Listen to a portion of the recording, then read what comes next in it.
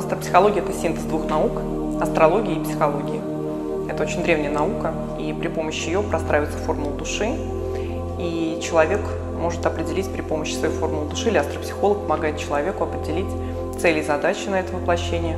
То есть можно посмотреть а, те положительные качества, которые являются основой, на которые можно опираться в этой жизни для своего развития, и те проблемные места, те какие-то минусы или ахиллесову пяту, так называемые, для человека. То есть какие, а, какие сложности он будет встречать в своем собственном характере, потому что мы известно, что характер определяет судьбу человека. И в первую очередь для того, чтобы изменить свою жизнь, нужно изменить самого себя. Вот поэтому именно при помощи астропсихологии, формул души, есть возможность посмотреть с математической точки зрения на свой собственный характер, более глубоко изучить самого себя, понять себя, понять свои цели, задачи, то есть куда двигаться по жизни.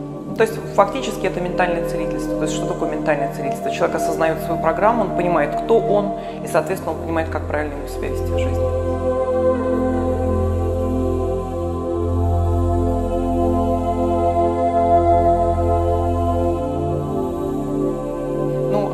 Консультацию обычно обращаются а, люди достаточно молодые, а, где-то ориентировочно до 40 лет, особенно до 30, до 30 лет. Это связано с тем, что это поколение так называемых детей индиго.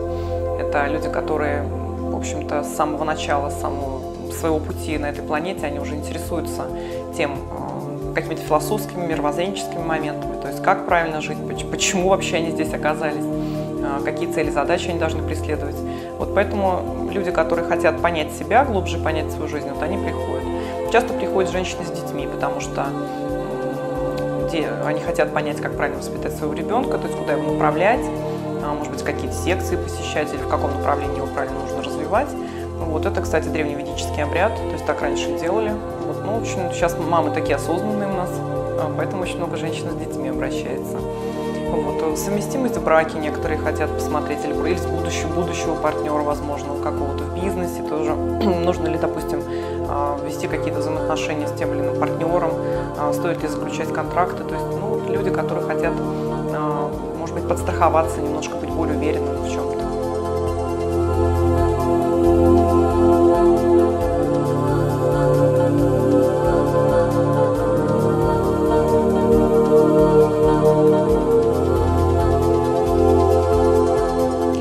Кажется, что к астропсихологу необходимо обращаться к тем людям, которые хотят глубже понять себя и осознать самого себя, которые хотят э, точно знать, в каком направлении э, им лучше развиваться, которые, может быть, запутались где-то по жизни, не могут определиться.